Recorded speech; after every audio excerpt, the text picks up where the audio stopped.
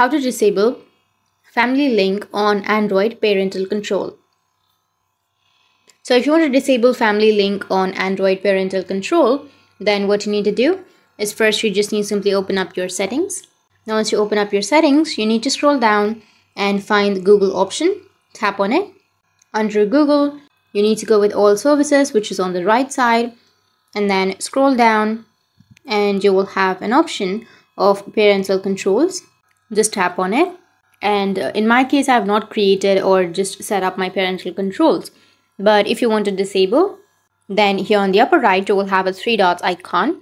And after that, you will get four options. You just need to simply select stop supervision. Once you select that, you need to tap on go to remove account and then remove account, which will be on the bottom of your screen. And after that, you will disable your family link on your Android parental control. So that's it. And if you have any questions, feel free to comment below. Thanks for watching.